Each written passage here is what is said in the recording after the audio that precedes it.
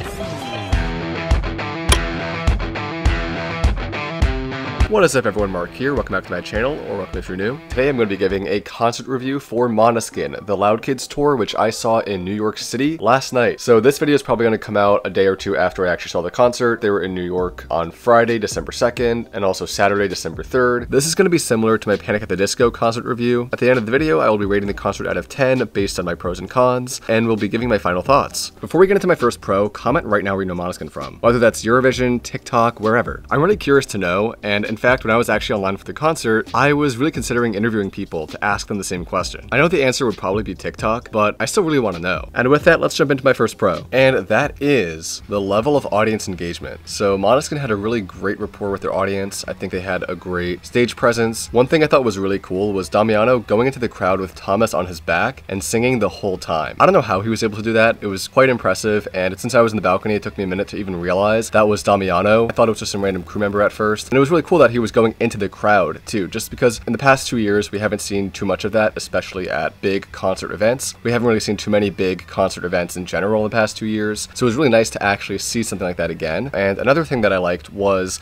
the fact that towards the end of the concert, Damiano brought up a bunch of fans on stage, pretty much anyone who was in the front row. One girl there was really shy, and Damiano just hugged her and everything, and I thought that was really cute. It was kind of funny seeing everyone on stage too, because some people got really a little bit too excited being up there. I think I saw a couple people trying to grab Victoria's guitar, and she kind of had to run away from them. Um, but otherwise, it was super cool to see that, and I hope they all had a great time because that was like a once in a lifetime opportunity. Kind of made me wish that I was in the pit so I could actually experience all that up close, but still it was really cool seeing from the balcony and also just getting to be in the same room as all that energy and all that action happening. So with that, let's move on to my first con. So I think my only con for this concert, and it's a really minor, minor con, but it is something I just wanted to bring up, is actually the set list. The set list for me is overall pretty good. I really wish that there would have been a few more Italian songs, but I also understand that, you know, they're in New York and they don't want to alienate their English speaking audience. They don't want to be singing all in Italian or too much in Italian so that people that only speak English can't sing along. So I understand that. I just wish that more songs from maybe some of their older albums, or especially from Il Ballo della Vita, which was from way back in 2018, could have been included on the set list. The only song that they actually had from the album was Close to the Top, which is a great song, but I really wish they would have had other songs, maybe like Torna a Casa, which is one of my favorite Måneskin songs of all time, and L'altra dimensione, which I like a lot too. But that's okay. I mean, I didn't mind it so much. It's more of a thing that I wish they would have added than a criticism, because honestly, it's hard to find critiques for this concert. It was so amazing and just so unique that it's hard to really say, oh, I didn't like this, or this is a nitpick here and there, because I think Måneskin just does their own thing, and they do it really well. So again, the only thing that I really kinda have to nitpick is just the lack of some of their older songs, and especially songs from that one album. But again, not a huge deal. Let's move on to one of my other pros, and believe me, there are way more pros than cons here. I think this will actually be pros from here on out, because this concert was incredible.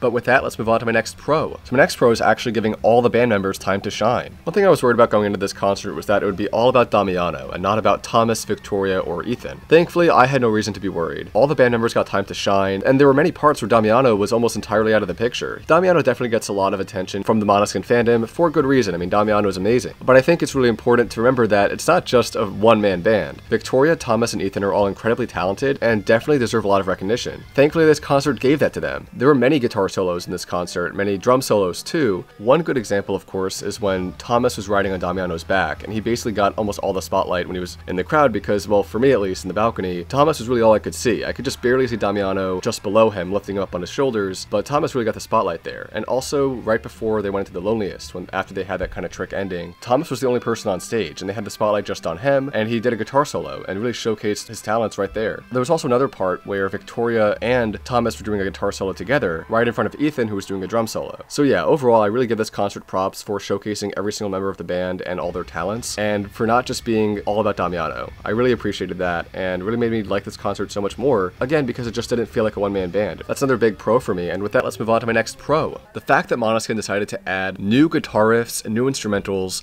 to the beginnings, middles, and ends of their songs. I thought this was really cool, and yes, some bands do do this, but the way Måneskin implemented this in their songs was super unique. Where some songs might have, you know, a little bit of an introduction, a little bit of an outro, Måneskin pretty much transformed some of their songs for the better. Some of these songs, like The Loneliest, have very extensive intros, and these intros are all instrumental, and they give great opportunities for Victoria, Ethan, and Thomas to shine. And to be honest, it made the concert that much more unpredictable. Since I don't look at set lists, I usually don't know what song's gonna come next, right? So we have these extensive instrumental intros, these great guitar riffs, these great drum solos, everything. And I don't know where that's leading. And also once the song ends, I don't know if the outro is going to go straight into another song or what they're going to do. And on some of the other songs, they would have an instrumental break in the middle, which really kept me on my toes, kept me very engaged. I really enjoyed that aspect of the concert. It just made it so much more unpredictable, so much more exciting, and just so much more memorable to me. So my last pro and one of my favorite parts of this concert is right before the song Lividi sui Damiano said this is our last song. So everyone was like, okay, this is it, right? This is the last song. He sang the song, the song was great, the song ended, and we were all like, okay, it's time to go home. Måneskin left the stage, but the lights were still off. So all of us were kind of looking around. People were like whispering, and we were all confused. My friends and I were really confused. We were like, should we go? I was ready to pick up my jacket and leave, but then someone came on stage, and everyone was cheering and screaming, but it was just a member of the crew. Then we were like, okay, so is the concert really over then? And we sit there, and some people actually did start getting up and leaving. But then as we sat there a couple minutes in, Thomas ran on stage. Next thing you know, we're back in it.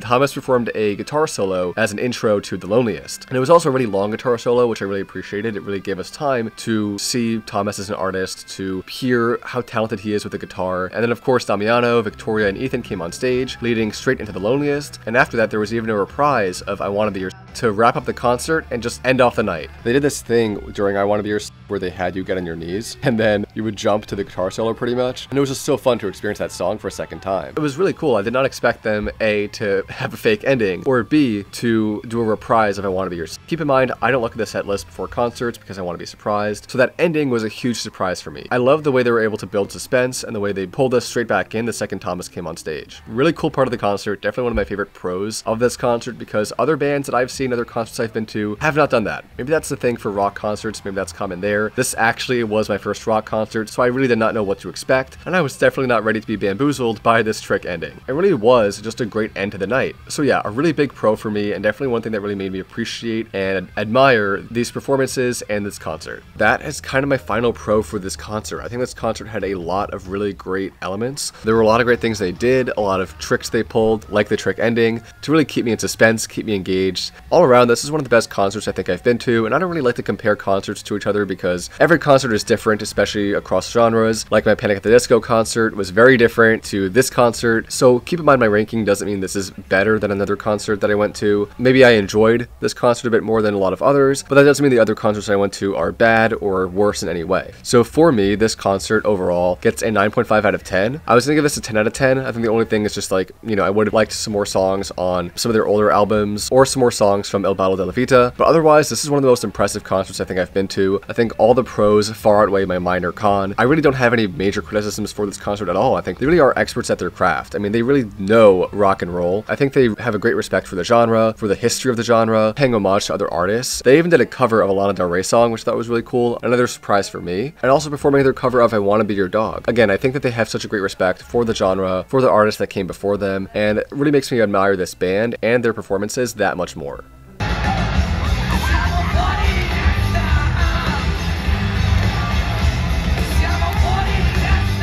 This concert really did mean a lot to me just because I have been a fan of Måneskin for a pretty long time. I discovered Måneskin all the way back in 2021, and that was in March of 2021. So it's been almost two years at this point, and it feels like I've followed this band for even longer. I discovered Måneskin after they won Sanremo 2021 last year, and if you don't know, that's the Italian song contest that actually inspired the creation of Eurovision, and the winner of Sanremo gets to go to Eurovision to represent Italy. Måneskin won last year, and at first I wasn't too sure what to think about them. I saw their performance, thought it was pretty good, but I had also been rooting for other songs to win Sanremo, so I wasn't too keen on the band at first. After a while, once we had a few songs in for Eurovision 2021, I did go back and listen to all the songs again. Of course, Zitti e was one of those songs. And I ended up listening to that song again and again and again, and I really did fall in love with it. Italian rock was something I didn't know I needed, and Måneskin provided just that. They became one of my favorite bands, just in general, and even though they were not my winners for Eurovision, I still love them a lot, and I still was rooting for them to do really well. I think they were in my second place in 2021, if I'm not mistaken, and when they won, I was very happy for them. Again, even though they were not not my winners that year, I was very happy for them and I thought it was a very well deserved win. They had some of the best staging of all the songs there, or of any Eurovision song just in general, and really deserved to get the top spot. And at the time, Måneskin was just a band that people knew in Europe, but mostly in Italy. Eurovision winners really didn't go super viral for the most part. I mean, Duncan Lawrence did great. His song Arcade has definitely gone viral, and I hear it a lot on TikTok even now. But most Eurovision winners, you know, they mostly become famous in Europe and don't usually reach the same stardom as ABBA or Celine Dion did. That was not the case for Måneskin, however. They became a global sensation practically overnight, and it really just astounded me how much love they were getting from overseas in the United States. And I think music is really a universal language, and it really was amazing how Måneskin was able to bring so many different kinds of people together, and that's super important and super meaningful to me, especially after the last two years. And to be honest, it's just so astounding to see Måneskin's growth and the growth of their audience. Sitting on the balcony, watching from above, I just couldn't help but feel almost overwhelmed by a sense of just how proud I am for this band and for how far they've come. Again, I remember all the way back from their Sanremo days, where they were pretty much unknown outside of Italy, to now, where they're global sensations. Amazing to see how far they've come, and, you know, really warms my heart, to be honest. But not to get too sappy, but I really am proud of this band. I'm proud of every single one of them, and it really is great to see how far they've come from their Sanremo and their Eurovision days to now. So with that, that has been my review of the Måneskin concert. Please let me know what you think down below. If you agree, disagree with my comments, let me know if you saw Måneskin, if so, where, and what did you think? So yeah, with that, thank you all so much for watching, and I will see you all next time.